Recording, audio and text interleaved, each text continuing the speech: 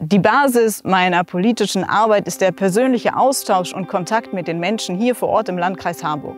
Ob als Trainerin beim Deutschen Roten Kreuz oder in der Nachbarschaft, hier bekomme ich ein Gespür für die Anliegen der Bürgerinnen und Bürger. Ich stehe für eine soziale, engagierte und bürgernahe Politik. Seit 2013 vertrete ich als SPD-Bundestagsabgeordnete den Landkreis Harburg in Berlin. Und ich will mich weiterhin einsetzen für die Menschen. Von Tespel bis Tostedt, von Egestorf bis Rosengarten. Mit Optimismus, Erfahrung und sozialdemokratischer Leidenschaft.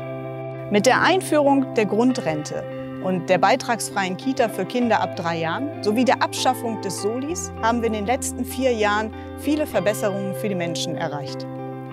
Dass Grundschulen in Winsen und in Ställe die Ganztagsbetreuung schneller ausbauen können, dass das Waldbad in Hanstedt und das Hallenbad in Neuwulmsdorf mehr Mittel für die Modernisierung erhalten oder das Kiekeberg-Museum mehr Geld bekommt und wir auch einen Schritt weiter sind hin in eine tierversuchsfreie Gesellschaft, Dafür habe ich mich in den letzten Jahren erfolgreich eingesetzt.